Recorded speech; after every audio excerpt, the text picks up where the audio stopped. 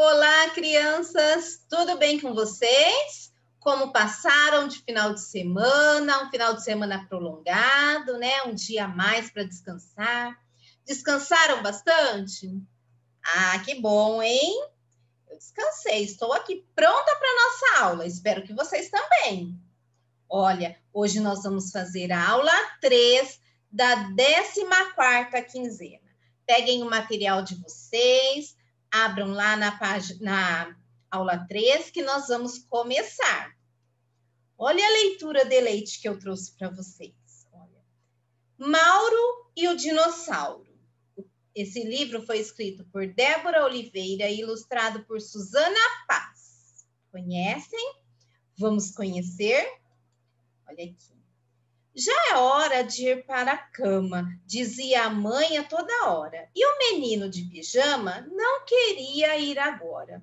Coitado do menino, não sabia do perigo, não querendo ir dormir, acabaria de castigo. De tanto a mãe insistir e ele não obedecer, o castigo prometido não demorou a ter. De castigo, disse a mãe para aprender a obedecer, sem sair para brincar e também sem TV. De castigo, mãe. Mas por quê? Pensava o menino, não podia entender o porquê do seu destino. Não podia sair de casa, nem brincar com nenhum amigo. Dessa vez a mãe caprichou exagerou nesse castigo. Sem videogame e TV, o quarto era um deserto. Sem acessar a internet, só restava olhar o teto. Era Mauro o nome do garoto. Esqueci de lhes contar, mas no meio da confusão, como eu poderia lembrar? E triste, Mauro ficou ali, sem ter o que fazer, sem nenhum brinquedo, videogame ou TV. Ora deitado na cama, ora deitado na rede, o menino avistou um bichinho na parede. E agora? E esse bicho? Será que ele come gente? Será filhote de, de dragão? Mas parece de serpente. E o bichinho, ligeiro, fugia com medo de Mauro. E o menino até pensou: será filhote de dinossauro? Dinossauro só podia ser. Mauro tinha certeza pura, só não sabia o que fazer com aquela criatura. Não podia contar à mãe com medo de outro castigo. Mas um dinossauro no quarto já pensou quanto perigo? E o bichinho na parede, correndo sem preocupação, comia um pequeno inseto, deixava outro cair no chão. Se Mauro chegava perto, o bicho corria para o armário, zigue-zagueando bem depressa, quase caía no aquário. O menino se preocupava. Onde o bicho vai parar? E se ele ficar bem grande, vai querer me devorar? Na parede, escondido, o menino viu um furo. O bicho também viu, correu para o escuro. Um dinossauro no quarto? Meu Deus, que aventura! Se a sua mãe descobrisse, seria encrenca pura. O menino, assustado, não sabia o que fazer. Queria ter aquele dinossauro, mas como sem a mãe saber? E se o bicho crescesse? O que ele faria? Um dinossauro gigante? Como se esconderia? Olhou no relógio ligeiro. O tempo estava passando. Daqui a pouco a mãe viria ver o que ele estava aprontando. Achou simpático o bichinho comendo muito apressado, correndo para o seu ninho, um buraquinho apertado. Há quanto tempo estava ali naquele buraco escuro? Será que entrou pela janela? Será que veio pelo muro? Estava ainda pensando se teria vindo pela horta, quando tomou um susto ao ver sua mãe abrir a porta. Menino, ainda acordado? Não já mandei você dormir? Mas que bagunça danada essa que você fez? Mãe, disse logo apressado, vivia a maior aventura. Veja aqui neste quarto, foi onde encontrei uma criatura. A mãe olhou o menino assim meio desconfiada, achando aquela história que aquela história estava muito mal contada. Mauro disse que disse de uma vez a história da aventura, que olhando para a parede avistou uma criatura. Quando vi aquele bicho que apareceu de repente, pensei que fosse um filhote de dragão ou de serpente. Tive medo, quis correr, mas olhei atentamente. Foi quando vi o dinossauro daqueles de antigamente. Mauro mostrou à mãe onde o bicho se escondeu, num buraco bem pequeno, bem escuro, feito breu. Contou que ele comia inseto e corria muito rapidamente, mas que teve muito medo. Será que também come gente? A mãe riu da história e disse para o filho se acalmar. Ora, Maurinho, não tenha medo, que a mamãe vai lhe explicar. Então ela contou carinhosamente, acalmando o filho aflito, que não há mais dinossauros, porque eles foram extintos.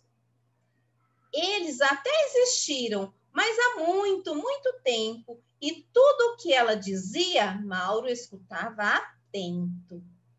Um dia na Terra houve uma explosão e os dinossauros desapareceram num instante. Os cientistas disseram que tudo se deu quando chegou um meteoro gigante. Por isso, preste atenção. Nem precisa se assustar. O bichinho que você viu não vai o devorar. Não precisa ter medo nem tratar como inimigo. O bichinho da parede não oferece perigo. Ele, assim como você, deve estar é assustado. Por isso foi que o esconderijo se escon... foi para o esconderijo se escondendo apressado. Lagartixa é o nome desse bicho, que não faz mal nenhum a gente ele até devora os insetos que infestam o ambiente. Parece mesmo com um dinossauro, de pele grossa e um jeitão altivo, mas na verdade a pobre lagartixa é um bicho inofensivo. Lagartixa, que nome esquisito, é mais estranho até que o dono. Agora fiquei mais calmo, mamãe. Estou até sentindo um sono. E sem medo e já sorrindo, foi dormir o menino Mauro, que sonhou com a lagartixa e a fingir ser dinossauro. Gostaram da história de hoje? Olha só, né? Muito bonitinha essa história. Também gostei. Vamos continuar a nossa aula? Olha aqui, ó. Ontem foi dia 22, domingo. Que dia que vocês vão marcar aí no material de vocês?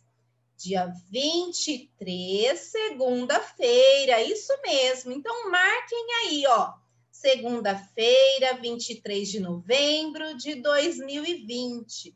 Ou 23 do 11 de 2020, tá? Nossa atividade de hoje é de matemática. Então, essa data vocês vão marcar no material impresso de vocês, onde está escrito assim: atividade complementar padronizada 2, nas páginas 5 e 6. Bom? Então, vamos começar. Já marcaram uma data? Então, vamos lá, olha só. O que tem aí na página de vocês é esse daqui, ó, esse texto. Vou ler junto com vocês, tá bom? Vocês acompanhem aí com o dedinho ou com uma régua, tá? Então com um lápis, com o que vocês preferirem. Gato pensa.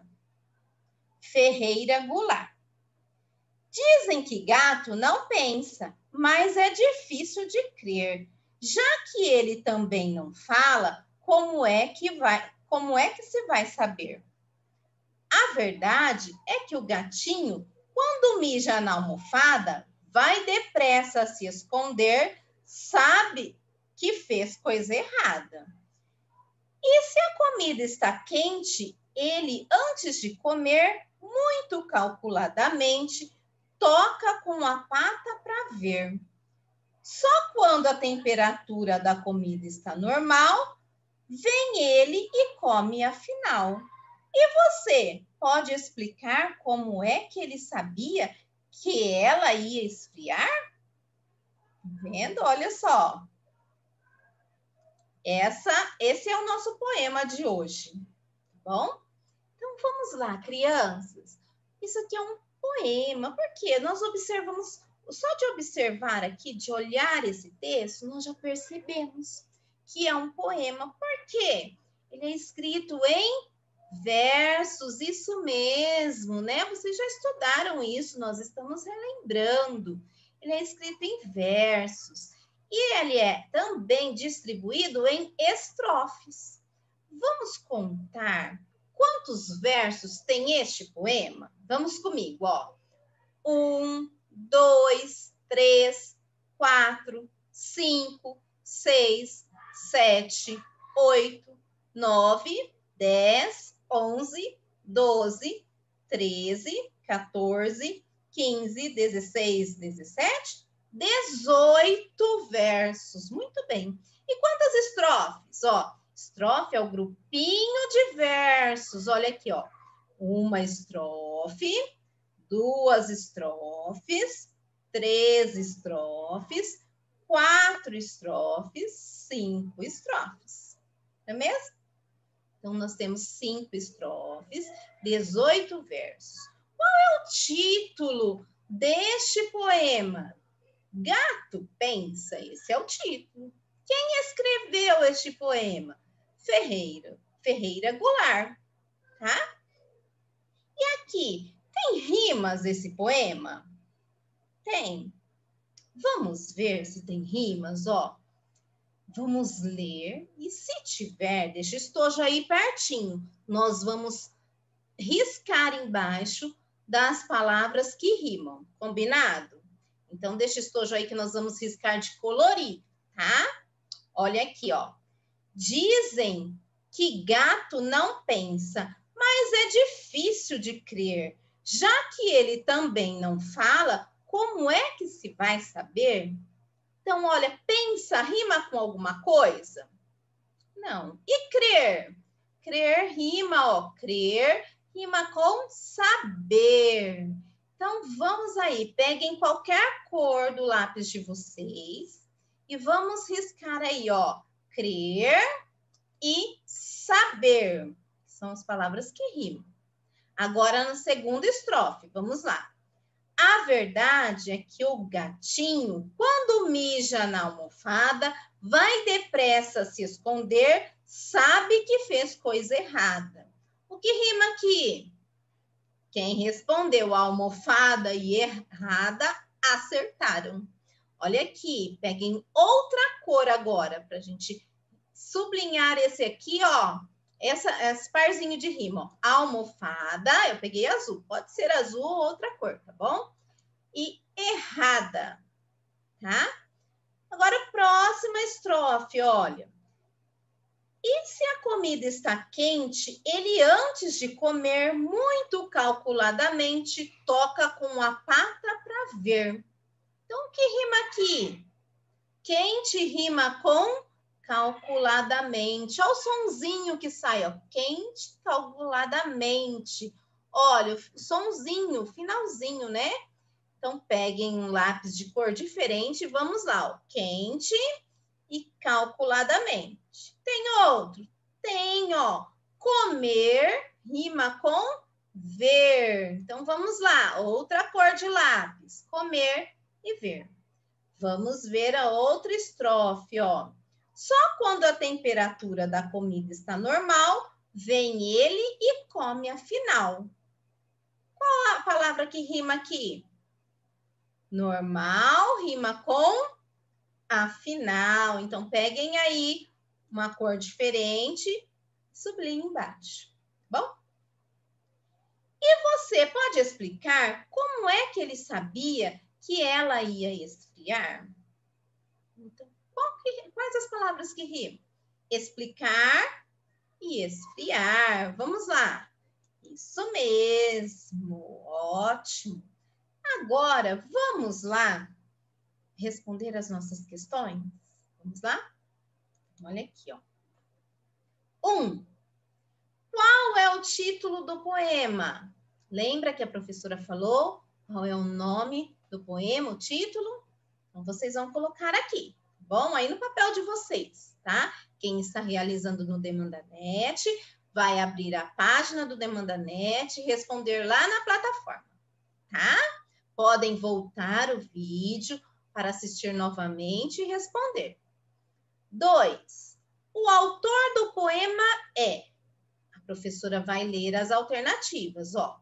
Letrinha A, Pedro Bandeira. B, Elias José. C, Ferreira Goulart. D, Ricardo Azevedo. E, Vinícius de Moraes. Lembra que nós lemos lá?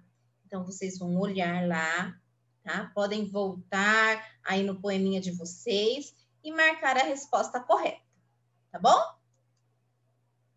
Três. Quantos versos há no poema? Nós contamos, lembra?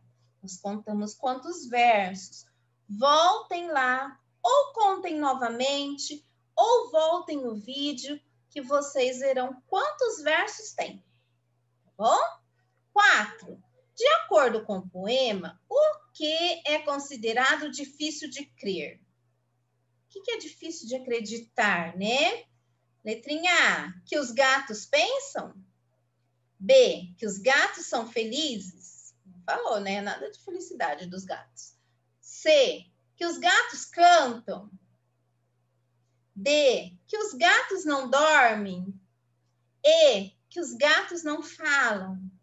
Então, vocês vão marcar a resposta correta, tá bom? Voltem lá, leia mais uma vez. Se preciso, volta o vídeo, faça a leitura junto com a professora de novo, tá bom? Vamos para cinco? Então tá, olha aí, ó. Escreva o que o gato faz, mas sabe que é errado, de acordo com o poema. Lá no poeminha, falou que o gato faz alguma coisa e já sabe que é errado, né? Ele vai se esconder porque é errado. Então, o que ele faz que é errado? Tá? Vocês vão escrever aí. Bom, o que ele faz que é errado? Se tiverem dúvidas, pode voltar ao vídeo. Seis. Antes de comer, o gato calculadamente faz o quê? O que, que ele faz? Letrinha A. Toca com a cabeça para ver ele toca lá para ver se está quente, não é? Com que parte do corpo que ele toca, ó. B, toca com o bigode para ver. C, toca com a orelha para ver. D, toca com o focinho para ver. E, toca com a pata para ver. Vocês vão marcar a resposta correta aí, somente uma, tá? Então, voltem lá, se tiverem dúvidas, tá bom? Vamos lá para sete agora, ó.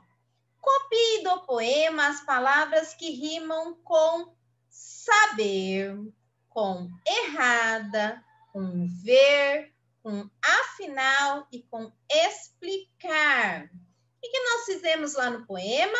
Nós pintamos os pares de rimas, não é? Então, vocês vão procurar essas palavrinhas aqui, ó saber e olhar qual palavrinha que rima com ela e escrever aqui na frente, tá? Errada. Qual que rima com errada? Coloca aqui na frente. Volta lá no poema de novo e olhe qual que rima com ver. Coloca aqui. Afinal. Qual que rima com afinal? Coloca aqui. Explicar. Qual palavrinha que rima com explicar? tá bom? Coloquem aqui. E assim vocês finalizaram a atividade de hoje. Olha que legal. E aí, gente, conta para mim. Vocês acham que gato pensa? É... O que, que vocês acham disso? É, eles fazem umas coisas que parece que pensam, não é? Eu também acho. Então, vamos lá finalizar a nossa aula. Olha aqui, vou pedir para quem ainda não se inscreveu, se inscreva no canal, deixe um joinha e ative o sininho, tá bom? Amanhã nós teremos aula novamente. Eu vou estar aqui esperando vocês. Não faltem. Um grande beijo, fiquem com Deus.